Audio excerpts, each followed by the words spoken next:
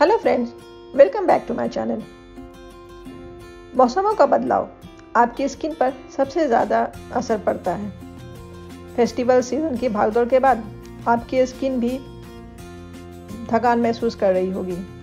इस थकान को दूर कर स्किन की चमक वापस लाने के लिए मैं लेकर आई हूँ होममेड फेस पैक जो कुछ ही देर में आपकी स्किन को फिर से पहले जैसा फ्रेश महसूस करने में मदद करेगा।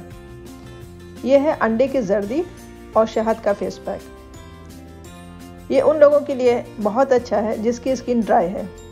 अंडे की जर्दी नमी का एक बड़ा स्रोत है। इसमें कोलेस्ट्रॉल भी होता है। साथ ही शहद आपकी स्किन को हाइड्रेटेड करता है। जब आप दोनों को एक साथ अप्लाई करती हैं तो ये आपकी स्किन के सेल्स को पोषण देता है और आपकी स्किन को ग्लो, इससे आपकी स्किन को ग्लो मिलता है। आइए जानते हैं इसे बनाने और इस्तेमाल करने का तरीका।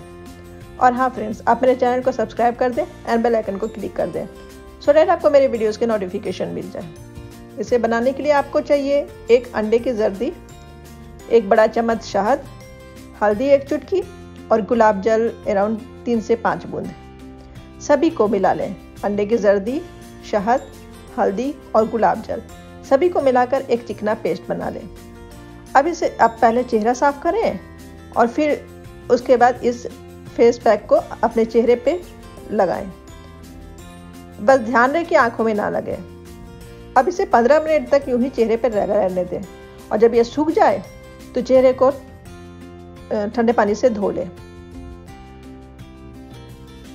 इस फेस पैक से आपके चेहरे पे कसाव होगा। इसके बाद इस किसी भी फेस वॉश का इस्तेमाल करने की ज़रूरत नहीं है। ये फेस पैक मुहासे से निजात तो दिलाता है। इसके अलावा यदि आपकी आँखों के नीचे सूजन है तो अंडे की जर्दी में मौजूद विटामिन ए इसे ठीक करने में भी मदद करता है। ओके फ्रेंड्स इस वीडियो में बस इतना ही। नेक्स्ट वीडियो में हाजिर होंगे एक और रेमेडीज़ के साथ। तब तक के लिए बाय बाय टेक केयर